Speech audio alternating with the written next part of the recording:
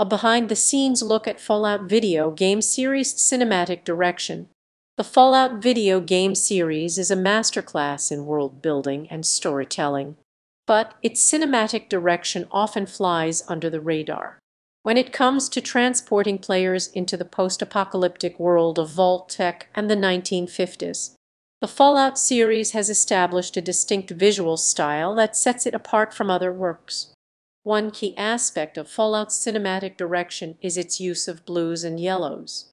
These two colors are often associated with radiation and nuclear devastation, providing a visceral connection to the game's themes of nuclear war and its aftermath.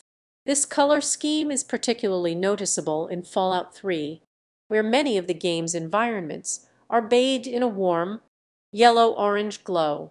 This is in contrast to the darker, grittier Fallout 4, which sees a shift towards cooler blues and grays.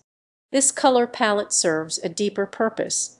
However, by emphasizing the contrast between light and dark, the Fallout series creates a visual representation of the blurred lines between technology and radiation. The glowing green of radiation meters and the pulsing orange of nuclear reactors both serve to heighten the sense of danger and unease that pervades the game world. In terms of camera angles and movement, Fallout games have often adopted a grounded, documentary-style approach. The use of static shots and slow camera pans creates a sense of realism and immersion that would be lost in a more action-oriented format. This also adds to the sense of presence, putting the player in the shoes of the protagonist and rendering the game world as immediate and tangible. Fallout series has also been influential in its use of practical, in-game models to represent its vast array of characters, both human and non, from the minutiae of intricate clothing and armor to the stark, almost robotic appearance of some of the series' more unsettling creatures.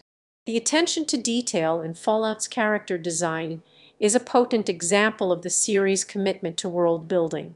When it comes to narrative, the Fallout series often explores themes of community and survival by creating a world where resources are scarce and human relationships are fraught with tension. The series invites players to confront the consequences of their choices and consider the moral implications of their actions. One of the greatest strengths of the Fallout series' cinematic direction lies in its ability to create sense of place. From the decaying ruins of Washington, D.C to the decaying shacks and makeshift settlements that pepper the game's wasteland environments, the Fallout series excels in its ability to create a sense of lived-in space and immersive detail.